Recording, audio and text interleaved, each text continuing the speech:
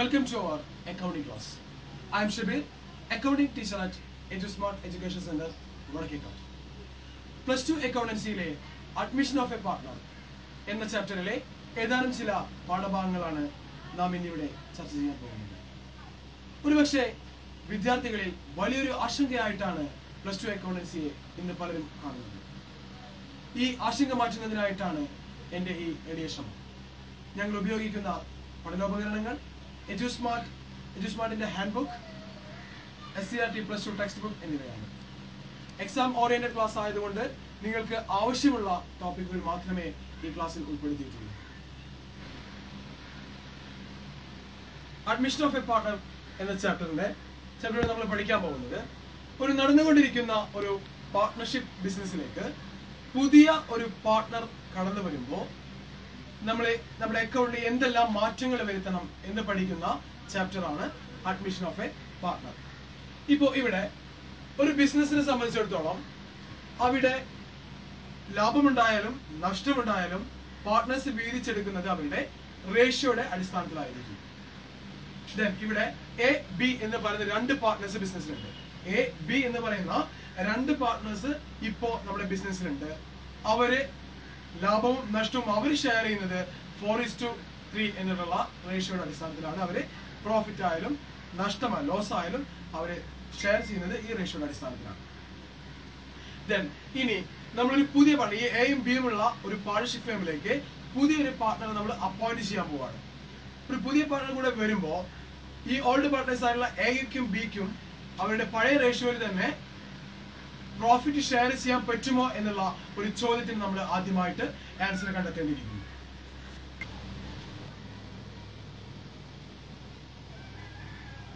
ഇവിടെ A B എന്ന് പറയുന്ന രണ്ട് പേര് നമ്മുടെ നിലവിലുള്ള പാർട്ട്നേഴ്സ് ആണ്. നമ്മുടെ ബിസിനസ്സിൽ ഇപ്പോ എ ബി എന്നിങ്ങനെ രണ്ട് പാർട്ട്നേഴ്സ് ഉണ്ട്. അവർ നമ്മുടെ ഓൾഡ് പാർട്ട്നേഴ്സ് ആണ്. ദെൻ ഇനി അവർ പ്രോഫിറ്റ് ആയാലും ലാഭമായാലും നഷ്ടമായാലും അവർ ബിസിനസ്സിലെ ത്രീ ടു എന്നുള്ള റേഷ്യോയുടെ അടിസ്ഥാനത്തിലാണ് അവർ ലാഭം നഷ്ടം വീതിക്കുന്നത്. ദെൻ അതുകൊണ്ട് ഈ റേഷ്യോ നമ്മൾ ഓൾഡ് റേഷ്യോ എന്ന് പറയും. ദെൻ സി എന്ന് പറയുന്ന ഒരു പാർട്ണർ ഇപ്പോ നമ്മൾ ബിസിനസ്സിലേക്ക് കൊണ്ടുവരാൻ പോവാണ്. എയും ബിയും ഓൾഡ് പാർട്ട്നേഴ്സ് ആണ്. അവരുടെ റേഷ്യോ ത്രീ ടു ആണ്. ദെൻ ഇവർ എയും ബിയും ഉള്ള ബിസിനസ്സിലേക്ക് സി എന്ന് പറയുന്ന പുതിയ പാർട്ണർ നമ്മൾ കൊണ്ടുവരാൻ പോവാണ്. നമ്മുടെ ക്വസ്റ്റ്യൻ ഇതായിരുന്നു. ഈ സി കൂടെ ബിസിനസ്സിലേക്ക് വരുമ്പോൾ ഈ ഓൾഡ് പാർട്ട്നേഴ്സിന് പഴയ റേഷ്യോ ഓൾഡ് റേഷ്യോയിൽ തന്നെ വീണ്ടും പ്രോഫിറ്റ് ഷെയർ ചെയ്യാൻ പറ്റുമോ ഇല്ലയോ? ഇതായിരുന്നു നമ്മുടെ ക്വസ്റ്റ്യൻ ഓക്കെ നമ്മൾ ഇവിടെ ഏതൊരു ഏതൊരാളും ബിസിനസ് ചെയ്യുന്നത് ഇതിന്റെ മെയിൻ ലക്ഷ്യം പ്രോഫിറ്റ് നേടാൻ വേണ്ടിയിട്ടാണ്. അപ്പൊ നമ്മളെല്ലാവരും ബിസിനസ് ചെയ്യുന്നുണ്ടെങ്കിൽ നമുക്ക് അതിന് പ്രോഫിറ്റ് നേടുക എന്നുള്ള ഒരേ ഒരു ലക്ഷ്യം മാത്രമേ ബിസിനസ്സിന് ഉണ്ടായിരിക്കുള്ളൂ. അപ്പൊ അതുകൊണ്ട് തന്നെ ഇവിടെ സി എന്ന പാർട്ണർ അയാളുടെ കയ്യിലുള്ള ക്യാപിറ്റൽ കൊണ്ടുവന്നിട്ട് നമ്മളോടൊപ്പം ബിസിനസ് ചെയ്യുന്നുണ്ടെങ്കിൽ അയാൾക്ക് നമ്മൾ എന്ത് കൊടുക്കണം? പ്രോഫിറ്റിന്റെ ഒരു ഷെയർ അയാൾക്ക് കൊടുക്കണം. അതുകൊണ്ട് തന്നെ ഇനി ഈ ഓൾഡ് പാർട്ട്നേഴ്സിൽ വീണ്ടും ത്രീ ടു എന്നുള്ള റേഷ്യോയിൽ ഒരിക്കലും പ്രോഫിറ്റ് ഷെയർ ചെയ്യാനായിട്ട് പറ്റില്ല. കാരണം ഇവിടെ പുതിയ പാർട്ട്ണർക്ക് കൂടെ പ്രോഫിറ്റിന്റെ ഒരു ഷെയർ കൊടുക്കേണ്ടതുണ്ട്. അതുകൊണ്ട് നമ്മൾ ഒന്നാമത്തെ കാര്യം ഒരു പുതിയ പാർട്ണർ ബിസിനസ്സിലേക്ക് വരുമ്പോൾ ഒന്നാമതായിട്ട് നമ്മൾ ചെയ്യേണ്ട കാര്യം ഇവരെ ഈ പുതിയ പാർട്ട്ണറെ കൂടെ ഉൾപ്പെടുത്തിക്കൊണ്ട് പുതിയ പ്രോഫിറ്റ് ഷെയർ ചെയ്യുന്ന റേഷ്യോ കണ്ടെത്തുക എന്നുള്ളതാണ് നമ്മുടെ ഒന്നാമത്തെ കാര്യം. അപ്പോൾ ഒരു പുതിയ പാർട്ണർ ബിസിനസ്സിലേക്ക് വരുമ്പോൾ നമ്മൾ ആദ്യമായിട്ട് ചെയ്യേണ്ടത് അയാളെ കൂടെ ഉൾപ്പെടുത്തിക്കൊണ്ട് പുതിയ പ്രോഫിറ്റ് ഷെയർ ചെയ്യുന്ന റേഷ്യോ കണ്ടെത്തലാണ് നമ്മൾ ആദ്യമായിട്ട് ചെയ്യേണ്ടത്.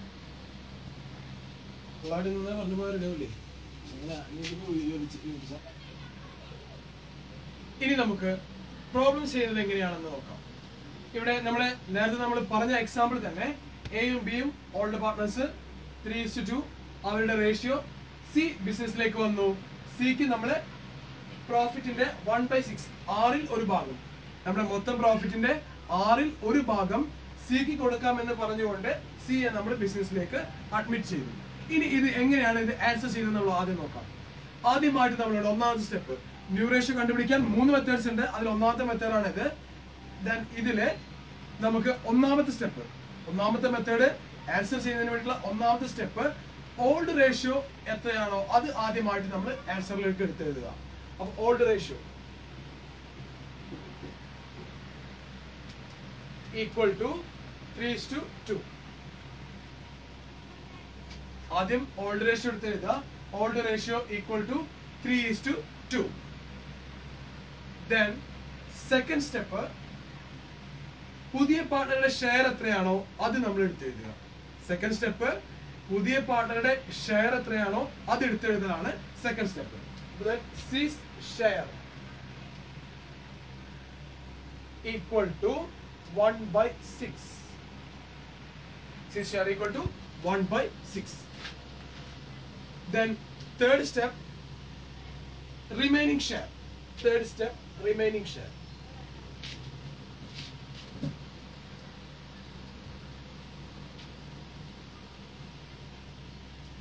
Remaining share എന്നതുകൊണ്ട് ഇവിടെ ഉദ്ദേശിക്കുന്നത് ഇവിടെ സി എന്ന് പറയുന്ന പുതിയ പാർട്ണറെ നമ്മൾ ബിസിനസ്സിലേക്ക് കൊണ്ടുവന്നിട്ടുള്ളത് ആറിൽ ഒരു ഭാഗം.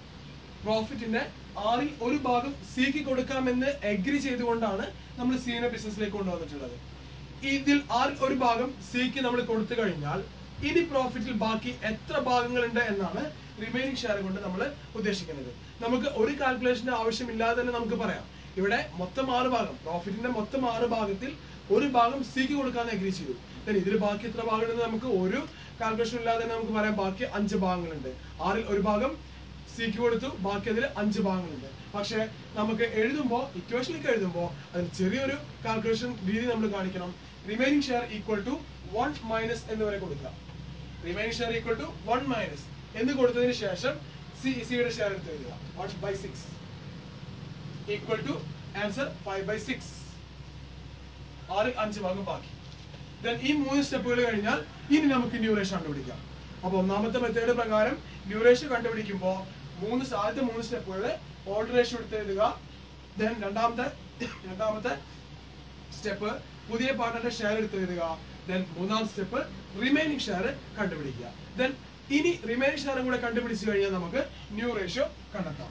അതിനുള്ള equation new ratio equal to new ratio equal to old ratio into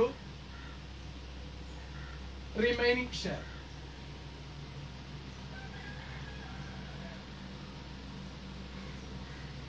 New ratio equal to old ratio into remaining share. ഇതാണ് ന്യൂ റേഷ്യോ കണ്ടുപിടിക്കാനുള്ള ഇക്വേഷൻ ഇനി നമുക്ക് അതിന്റെ അടിയിലായിട്ട് രണ്ട് ഓൾഡ് പാർട്ട്നേഴ്സിന്റെ പേര് ആദ്യം എടുത്തെഴുതുക A equal to B equal to ആദ്യം എ ദെൻ ബി ഇക്വേഷൻ കാണാനുള്ളത് ഇക്വേഷൻ എന്താണ്? Old ratio into remaining share ആണ്.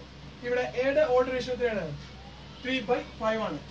ഓൾഡ് റേഷ്യോ കണ്ടെത്താൻ ഈ രണ്ട് റേഷ്യോ കൂടി പ്ലസ് ആദ്യം പ്ലസ് ചെയ്യുക?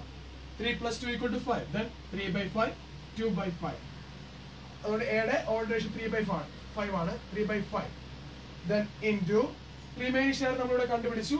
ഫൈവ് ബൈ സിക്സ് ആണെന്ന് കണ്ടുപിടിച്ചു. ആ ഫൈവ് ബൈ സിക്സ് ഇല്ല. അതുപോലെ ബിയുടെ old ratio two by five into remaining share five by six into ചെയ്യുമ്പോൾ മൾട്ടിപ്പിൾ ചെയ്യുമ്പോൾ നമുക്ക് ഒരു റൂൾസ് റെഗുലേഷൻസ് നമുക്കില്ല. ഡയറക്റ്റ് ഇന്റു ചെയ്ത് എഴുതാവുന്നതാണ് three into five fifteen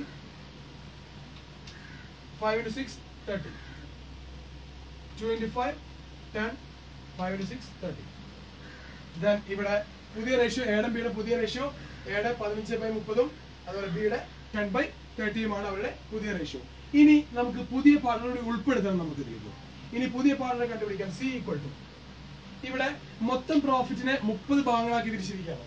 duration പ്രകാരം മൊത്തം പ്രോഫിറ്റിനെ മുപ്പത് ഷെയറുകളാക്കി നമ്മൾ തിരിച്ചു. അതിൽ പതിനഞ്ച് ഷെയറും എക്ക് കിട്ടി ഇപ്പോൾ ദെൻ പത്ത് ഷെയർ ബിക്കും കിട്ടി. ദെൻ ബാക്കി ഇനി ഇവിടെ എത്ര ഷെയർ ഉണ്ടോ ആ മൊത്തം ഷെയറുകളും ഇനി സിക്ക് അവകാശപ്പെട്ടിട്ടുള്ളതാണ്. ഫോർ എക്സാമ്പിൾ നമ്മൾ ഒരു ആപ്പിൾ മൂന്നാളുകളുണ്ട്. ഈ മൂന്ന് ആളുകൾക്ക് നമുക്ക് ഒരു ആപ്പിൾ എന്റെ കയ്യിലുള്ളൂ. ഇവിടെ മൂന്ന് ആൾക്കാർക്ക് എനിക്ക് അത് കൊടുക്കണം. അങ്ങനെയാണെങ്കിൽ ആ ആപ്പിളിനെ ഞാൻ മൂന്ന് പാർട്ടായിട്ട് ഞാൻ ഡിവൈഡ് ചെയ്ത് ഓരോരുത്തർക്കും ഒരു പീസ് വെച്ച് കൊടുക്കുന്നു. അതുപോലെ ഇവിടെ ഒരു ആപ്പിളിനെ മുപ്പത് പീസാക്കി ഞാൻ കട്ട് ചെയ്തു. പതിനഞ്ച് പീസ് എക്ക് കൊടുത്തു. ദെൻ ബിക്ക് പത്ത് പീസും കൊടുത്തു. ഇനി അതിൽ ബാക്കി എത്ര പീസ് ഉണ്ടോ അത് മൊത്തം സിക്ക് കൊടുക്കാനുള്ളതാണ്. ഇവിടെ പതിനഞ്ച് പ്ലസ് പത്ത്.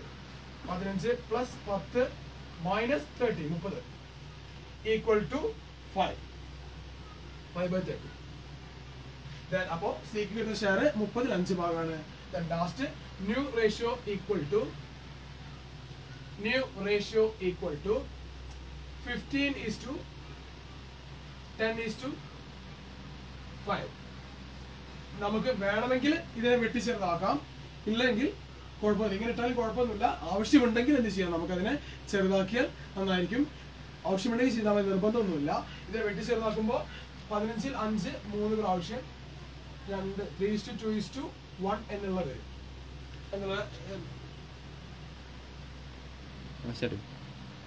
new ratio equal to fifteen is to ten is to five ഇതിനെ വെട്ടിച്ചെറുതാക്കുമ്പോൾ three is to two is to one നിർബന്ധമൊന്നുമില്ല.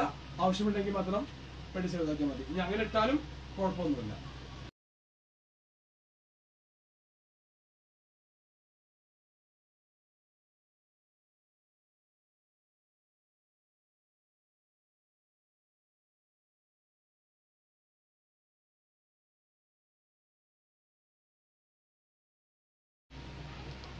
ഇപ്പൊ നമ്മൾ പഠിച്ചത് ന്യൂറേഷൻ കാണുന്നതിനുള്ള മെത്തേഡാണ് നമ്മളിപ്പോ പഠിച്ചത്.